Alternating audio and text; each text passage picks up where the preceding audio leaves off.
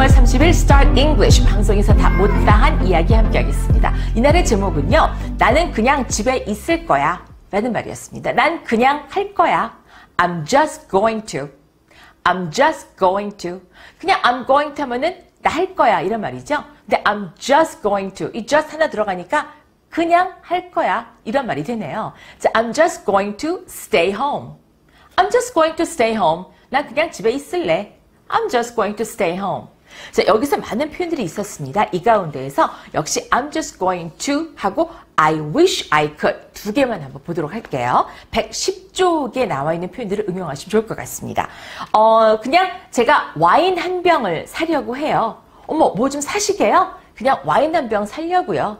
라고 하자면 I'm just going to buy a bottle of wine. I'm just going to buy a bottle of wine.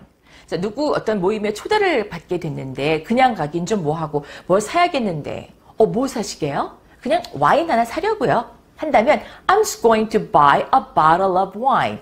와인 한 병, 한 병의 와인 이런 식으로 a bottle of wine 이렇게 말씀하시면 좋겠죠. 자, 그런가 하면 현실적으로 이루어질 수 없는 것을 간절히 소망할 때 하는 말이 있죠. 어, 하면 얼마나 좋을까? I wish I could 이런 표현 들어보셨죠?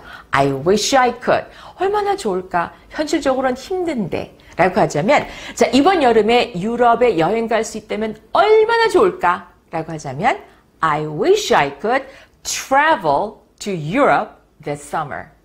I wish I could travel to Europe this summer. 이렇게 말씀하시면 되겠습니다. I wish I could 이용해서 뒤어라 동사를 넣어서요. 뭐뭐를 해보면 얼마나 좋을까. 이 말을 하는 이유는 그게 원래는 어렵다는 걸 반영하고 있는 말이라고 아시면 되겠습니다. 자, 문장 여러 개 나와 있거든요. 교재 110쪽을 꼭 참조하셔서 전화영어와 함께 하시기 바랍니다.